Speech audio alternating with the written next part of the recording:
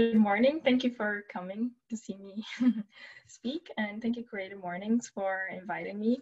It's exciting to be part of this, uh, what seems to be a really nice community and a really nice series of events. Uh, so yeah, thank you for introducing me. Yeah, my name is Ana Goidea. So I work, uh, I'm an architect at Lund University, uh, and I'm based in Copenhagen. Um,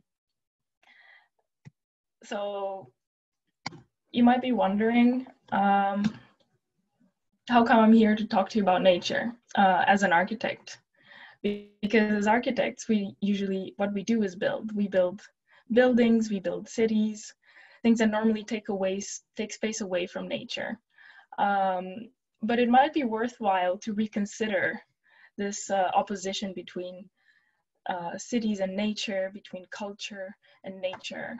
Um, because just as the dams that beavers build, we consider that to be part of nature. Why shouldn't we think the same about our homes? What if our homes, what if architecture is part of nature? Um, but at the same time, uh, we, of course, we must face the urgent ecological crisis um, and the Anthropocene and act responsibly for the impact that we do make on nature. Um, and I think this, this must mean that we need to reconsider the position we have towards nature and our relationship to it. Um, so what does this mean for architecture? Um, our current model is, um, so our current, current model is based on extraction. Um, it's, it's based on um, mining rare materials out of the earth and then with high energy processing them and then transporting them for large distances. So there should be no surprise that this is not sustainable. Uh, so buildings and their construction together account for 36% of global energy use and 39% of energy related carbon uh, CO2 emissions worldwide. These, uh, these stats are from 2017, a UN Environment Report, but unfortunately they're still uh, relevant today. And the ones on the stats on the right are from waste generation. Uh, so the building construction industry and households themselves, like they produce large amounts of waste. This is from Europe.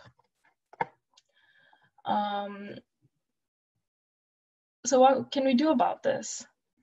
Build more sustainably, you could say, uh, right? But it depends what do we mean by that. Uh, so this is a Bloomberg headquarters by Norman Foster's uh, in London. You might recognize it. It was finished in 2018 and it won the Stirling Prize, which is really big in architecture. Uh, and it won many other accolades, right? It's, it's been dubbed the most sustainable building in the world. So it has achieved the highest BREEAM uh, standard, uh, outstanding, the highest the highest rating it they ever gave. So BREEAM is the Building Regulation Environmental Certification Program. Um, so it has the highest standard given by them. And of course it does some really good things. It uses a lot less water um, when it runs, a lot less um, energy. But if you do look closer, it has some very high embodied energy levels.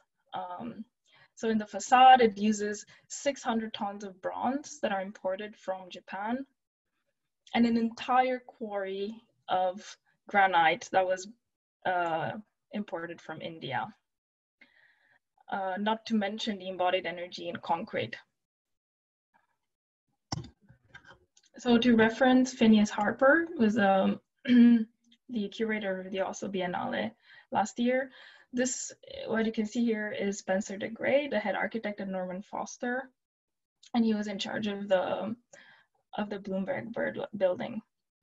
So they at Norman Foster they collaborated with UN uh, to visualize, uh, to map and visualize the Paris Agreement and what are the implications for that. And as you know, Paris Agreement uh, was made to keep the, the global temperature rise at under two degrees, ideally one and a half degrees within this century. Um, so as you can see, he mapped here um, that the Bloomberg building manages to achieve only a three degrees increase in temperature. So this should make us think, is this enough? Because the most sustainable building in the world, right, with highest standards made, is only fueling global warming more, more than twice that we can afford. So what can we do? um, I'm proposing a, an alternative model.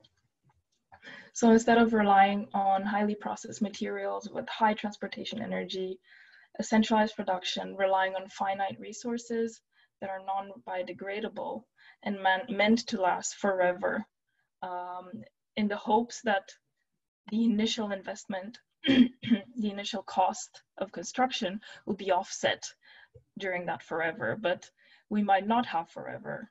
So Instead, I'm proposing um, a model of growth.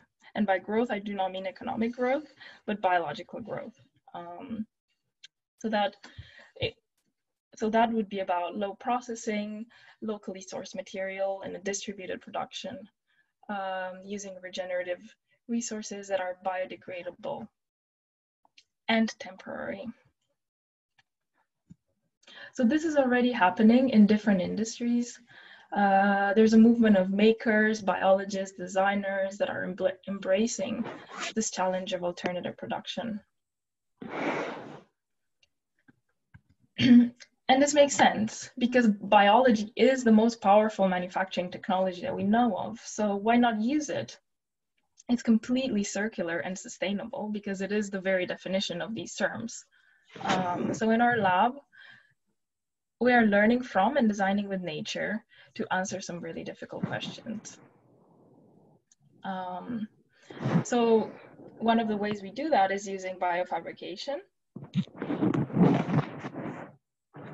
Uh, biofabricated, Natalia, do you mind putting, uh, turning off your microphone, please? Thank you. Uh, yes, so biofabri biofabricated material is um, is when a living material is used, is employed in the fabrication of, of that material. So as raw material, but not as pre-existing biomass, but when living cells are employed um, in the process of the production of the material. So following on this, uh, my work has led me to discover the exciting world of fungi, so fungi are really amazing organisms. Um, as you might know, they're more, they're closer to, uh, they're in the animal kingdom, so they're closer to us than plants uh, in some ways. So they've been breaking down organic and inorganic matter for millions of years, forming soil. Um, so the more we learn about fungi, the less the natural world makes sense without them. Um, so the contribution that the fungi that fungi make to our larger ecology is fundamental. And to quote Merlin Sheldrake, uh, fungi are eating rock, making soil, digesting pollutants, nourishing as well as killing plants, surviving in space, inducing visions, producing food, making medicines, manipulating animal behavior, and influencing the composition of the Earth's atmosphere. So it makes sense to have a closer look uh, because there is a great variety of behaviors and properties that they exhibit in their growth. So fungi are everywhere, but they largely go unseen.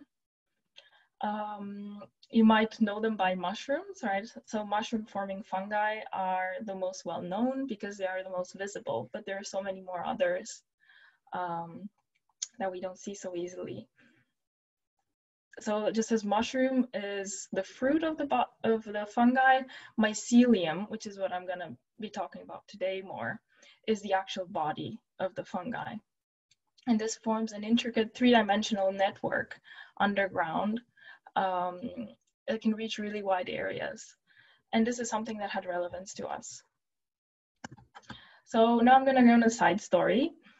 Uh, what you're looking at now is a fungal, fungus comb uh, this is um, this is done. This is something that's done by termites. So David Andreen, who's my supervisor, uh, he's been studying termite mounds and their physiology, and uh, figuring out what, what can we apply from architecture from that? Um, so termites, they live in, this species of termites lives in symbiosis with the fungus because termites themselves cannot digest plant matter.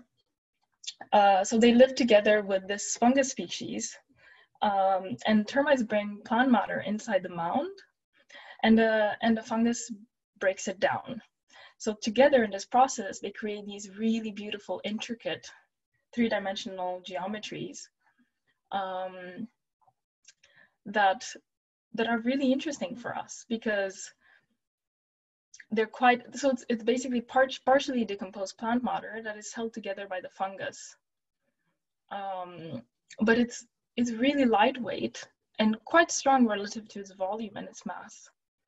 Um, so we said what what if we can let's look into this what if this is something we can take into architecture um, what if we can grow buildings instead?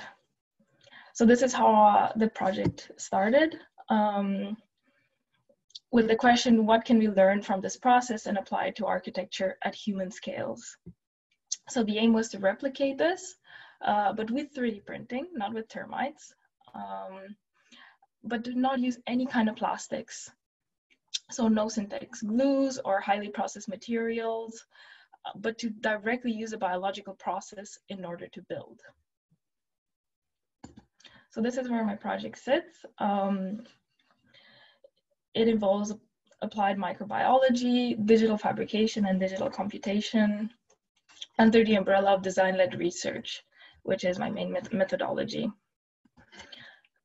So it involves working in a microbiology lab which is very exciting as well as terrifying for an architect uh, previously not trained in biology.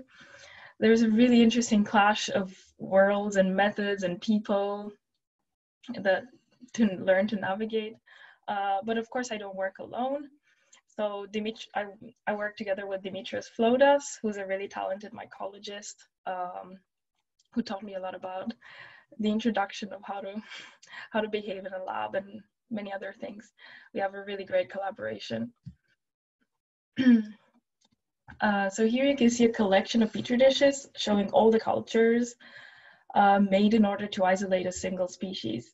so in the middle here, this one, um, it was successful. So we managed finally to isolate the species from the termite mound amongst many, many other more. Um, so this project involves navigating the biolab, but um, and the, the biology world, but the material science world as well. So what is in our material then? Fungi, of course, yes, but fungi need a base to grow in.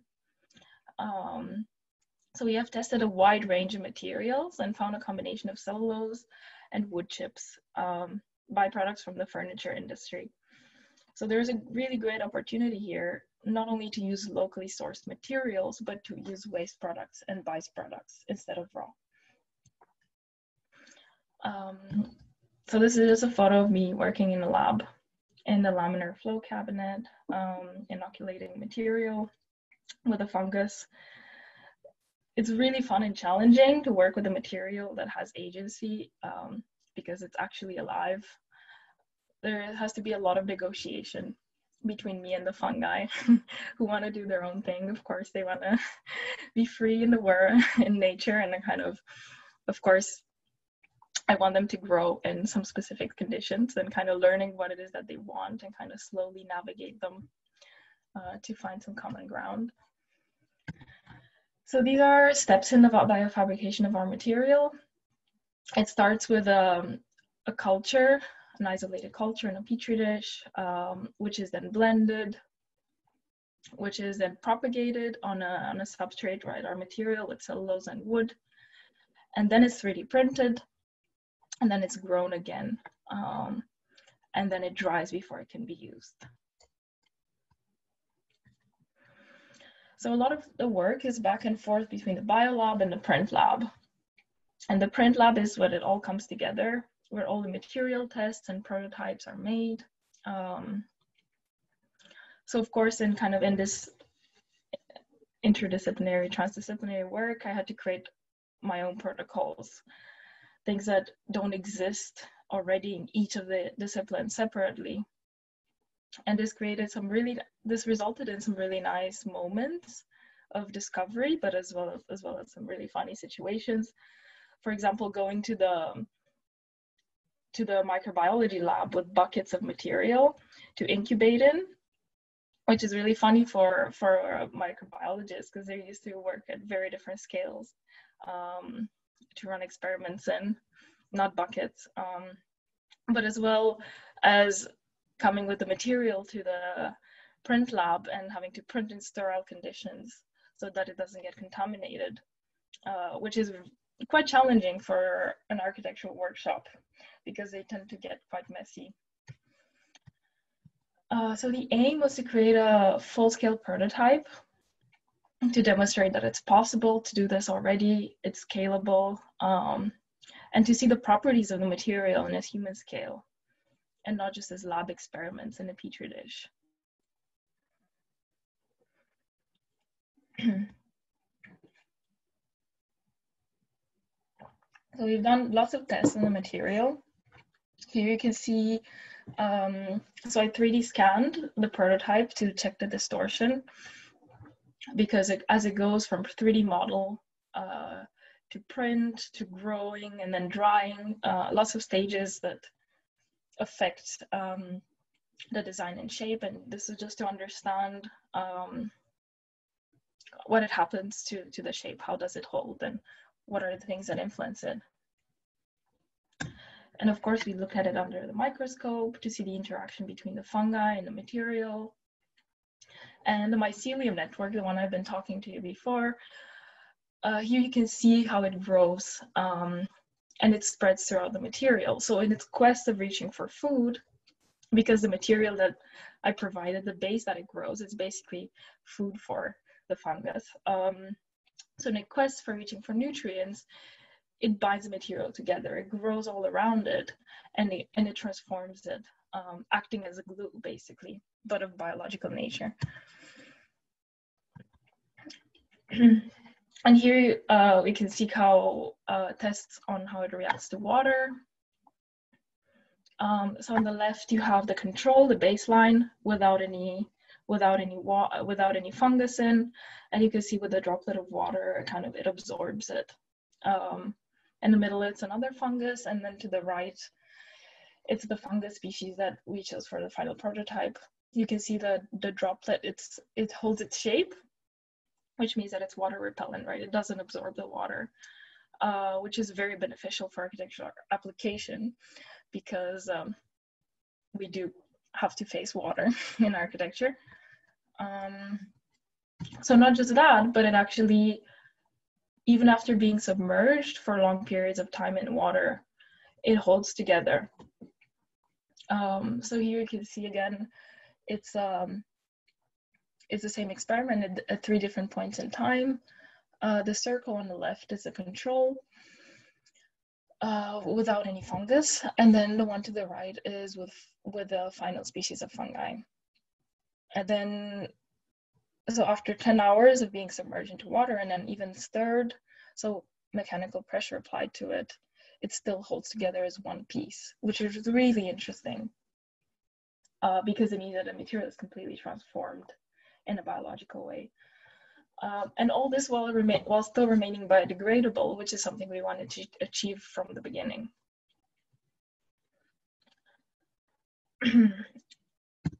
so where are we now? Uh, this is a photo from my office. Uh, this is how the project currently looks now. Um, so it got accepted at a triennial conference um, and it got published, but the plan was to present it um, at the conference in April, which of course didn't happen. Um, but also also the the plan was to to exhibit the finalized column structure uh, in London, which of course didn't happen. But not only that, but when the virus situation came, it interrupted also the the development of the project because of course I can't be in the lab. Um, but now things are slowly opening, um, and we have most of the pieces in place. Um, so soon you can look forward to seeing um, a fully 3D printed uh, fungal column if you stay tuned. so just on a final note, I want to briefly mention the other research project that we're working on, which is also incorporating nature, but in a different way. So not building with living matter, um, but through design and digital fabrication to invite nature in. So we're looking at the wall instead of being a divisive element, uh, it instead becomes a membrane that breathes, that connects the interior with the exterior, and has different functions that are not exclusive to immediate human benefit.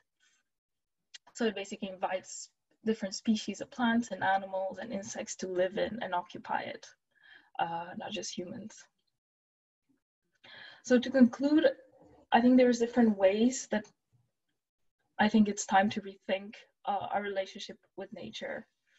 Uh, and it's important to now act on finding ways to extend our stay on the planet, but also for the well-being of other species.